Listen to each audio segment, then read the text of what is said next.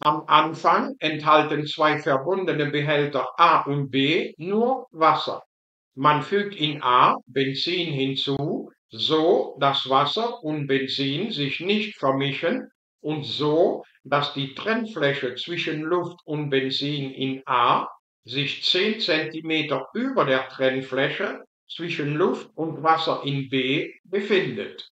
Welche Höhe wird die Benzinsäule in A haben, wenn die Benzindichte 750 kg pro Kubikmeter beträgt? Hier ein Modell der Situation.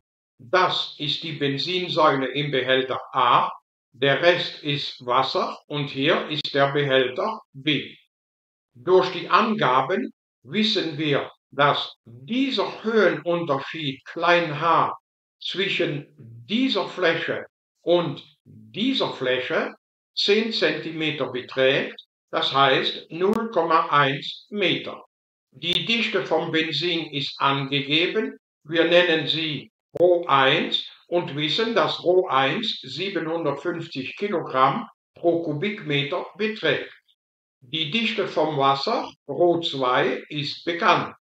Sie beträgt 1000 kg pro Kubikmeter. Was wir suchen, ist diese Höhe H1 von dieser Benzinsäule. Höhe, die wir natürlich in Meter ausdrücken. Und um die herauszufinden, nutzen wir die Formel vom hydrostatischen Druck. Durch das Prinzip von Pascal wissen wir, dass der Druck, den diese Benzinsäule auf diese Fläche ausübt, gleich sein muss zu diesem Druck, den diese Wassersäule auf diese Fläche ausübt, wo diese Fläche auf genau derselben Höhe liegt wie diese Trennfläche zwischen Benzin und Wasser. Also wissen wir, P1 ist gleich P2.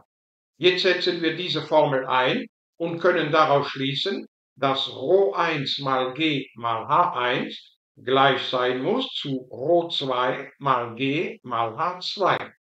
Und diese Gleichheit können wir sofort durch G kürzen was also bedeutet, ganz egal wo dieses Experiment durchgeführt wird, diese Höhe H1 wird überall dieselbe sein.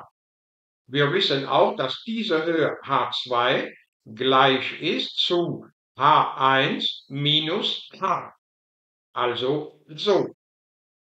Jetzt kombinieren wir diese zwei Gleichheiten und schließen daraus, dass Rho1 mal H1 gleich sein muss zu Rho2 mal H1 minus H.